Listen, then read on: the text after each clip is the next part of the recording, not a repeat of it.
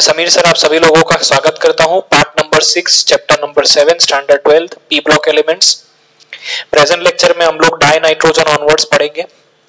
तो देखो बच्चों प्रिपरेशन में पहला दिया हुआ है कि डाई नाइट्रोजन जो है, उसकी प्रिपरेशन के अंदर हम एयर के लिक्विफेक्शन को यूज़ करते हैं। देखो एयर का लिक्विफेक्शन मतलब क्या होता है? तो एयर को ठंडी करते जाओ करते जाओ करते जाओ। ज़ीरो केल्विन के ऊपर सबके सब एयर जो है, वो लिक्विड हो जाती है। फिर उसका टेम्परेचर थोड़ा थोड़ा थोड़ा थोड़ा करके बढ़ाओ।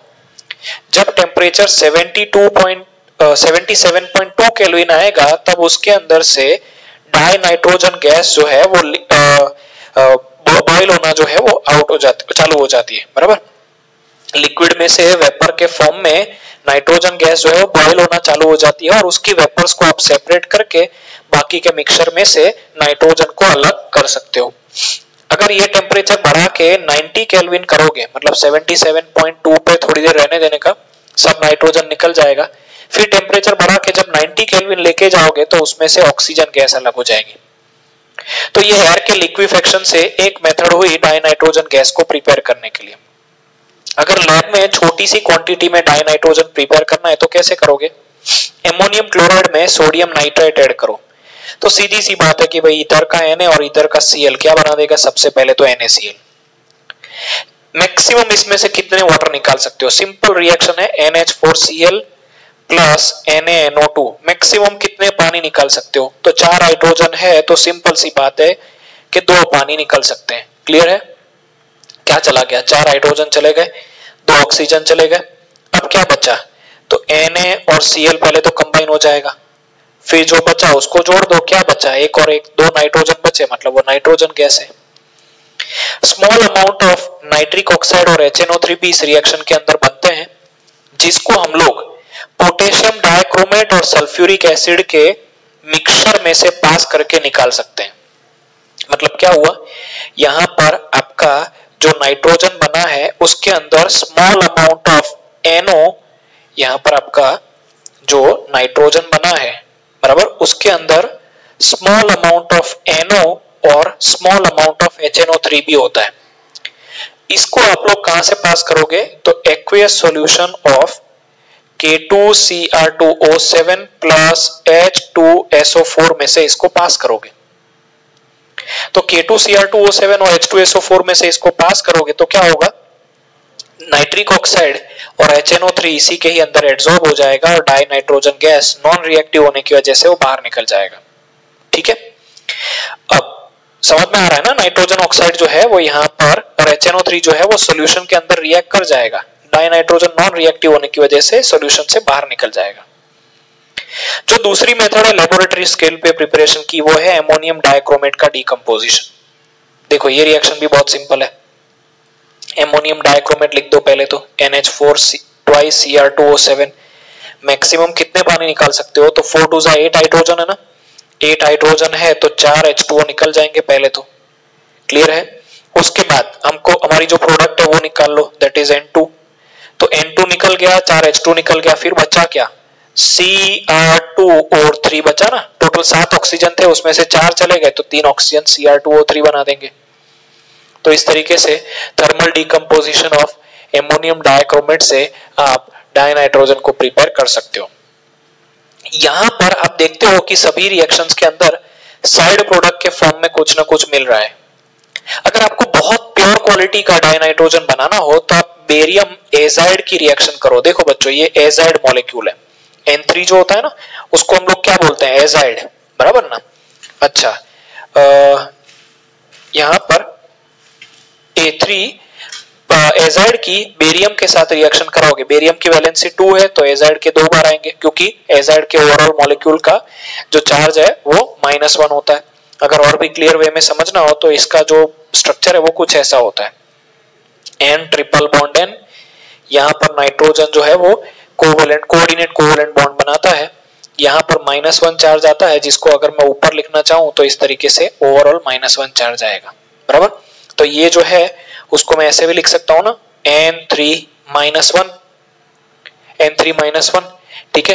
अब इस एन थ्री माइनस वन की रिएक्शन में बेरियम के साथ कराऊँगा तो बेरियम के साथ दो एजाइड मॉलिक्यूल्स कंबाइन होंगे। इसको जब मैं हीट करूँगा तो क्या होगा? बेरियम अलग हो जाएगा अनस्टेबल नाइट्रोजन गैस अलग हो जाएगा इक्वेशन को बैलेंस करना होता है यहाँ पे थ्री लगाने का। इसमें बेरियम जो है वो सॉलिड फॉर्म में होगा डाइनाइट्रोजन प्योर गैस फॉर्म में होगा, जिसको आसानी से आप सेपरेट कर सकते हो। तो प्योर बहुत प्योर एमसीक्यू के अंदर पूछ सकते हैं आप लोगों को कि बहुत प्योर डाइनाइट्रोजन जो है वो इसमें से कौन सी मेथड से मिलेगा? तो इस इक्वेशन को आप लोग लिख लोगे। अच्छा अब प्रॉपर्टीज़ की बात करते हैं। देखो, बहुत सिंपल है। डाइनाइट्रोजन जो है वो कलरलेस ऑर्डरलेस टेस्टलेस गैस है। इसकी कोई कलर ऑर्डर या टेस्ट नहीं होता है। ये नॉन टॉक्सिक गैस है। बराबर? नाइट्रोजन के दो भाई हैं। पहला है नाइट्रोजन 14 और दूसरा है नाइट्रोजन 15 ये दोनों ट्विन्स हैं। एक का बर्थ जो है वो 14 बजे मतलब दो बजे हुआ था और दूसरे का बर्थ 15 बजे मतलब कि तीन बजे हुआ था। क्लियर है? मतलब ये दो आइसोटोप्स हैं। इसकी वाटर के अंदर सोल्यूबिलिटी बहुत कम है। 23.2 centimetre cube at 273 kelvin and 1 bar pressure बराबर? सिर्फ़ और सिर्फ़ इतनी सोल्यूबिलिटी होती है रूम टेम्परेचर पे और प्रेशर पे। 23.2 सेंटीमीटर क्यूब डायनाइट्रोजन जो है वो रूम टेम्परेचर पे इनर्ट होता है। क्यों? क्योंकि नाइट्रोजन नाइट्रोजन की बॉन्ड एंथैल्पी अभी पड़ी 900 किलो जूल पर मोल से भी ज़्यादा होती है। इसीलिए डाइनाइट्रोजन जो मॉलिक्यूल है वो रूम टेम्परेचर पे इनर्ट होता है। लेकिन टेम्परेचर बढ़ाते जाओगे तो इसके जो बॉन्ड टूटते हैं और फिर ये रिएक्ट करना चालू करता है। जब रिएक्ट करना चालू करता है, तब मेटल के साथ और नॉन मेटल दोनों के साथ रिएक्शन करता है। जैसे अगर ये लिथियम के साथ रिएक्शन कर जाए तो आप लोगों को पता है कि भाई लिथियम की वैलेंसी जो है वो वन होती है नाइट्रोजन की थ्री होती है। तो इनका जो नाइट्राइड बनेगा वो एल आई थ्री एन होगा। बराबर? इक्वेशन को बैलेंस करना हो तो इधर आपको टू लगाना पड़ेगा और इधर आपको सिक्स लगाना पड़ेगा। जब मैग्नीशियम के साथ कंबाइन होता है, तब मैग्नीशियम का नाइट्राइड बनाता है। इसी मेथड से अगर आप इसकी वैलेंसी को सेट करो तो मैग्नीशियम की दो है नाइट्रोजन की थ्री है, क्रॉस मल्टीप्लीकेशन करोगे M G three N two होगा, इक्वेशन को बैलेंस करने के लिए यहाँ पर आपको थ्री मैग्नीशियम लगाना पड़ेगा। तो डाई नाइट्रोजन जो है वो रूम टेम्परेचर पर अनस्टेबल है, लेकिन हाई टेम्परेचर पे मेटल के साथ रिएक्ट करके नाइट्राइड बनाता है। ये नाइट्राइड जो है वो प्रीडोमिनेटली आयोनिक होते हैं। ध्यान रखना बच्चों, ये प्रीडोमिनेटली मतलब ज़्यादातर क्या होते हैं?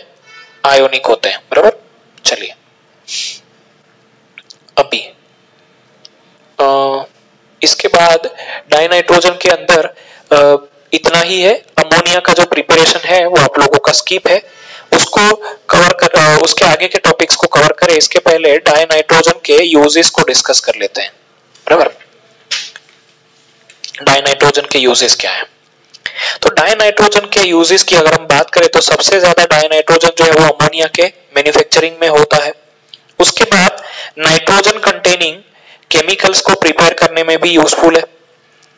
ये जहाँ पर इनर्ट एटमोस्फेयर चाहिए होता है ना, वहाँ पर काम में आता है। जैसे आयरन और स्टील इंडस्ट्री में अगर इसको एयर लग जाए तो करोजन की प्रोसेस स्टार्ट हो जाती है।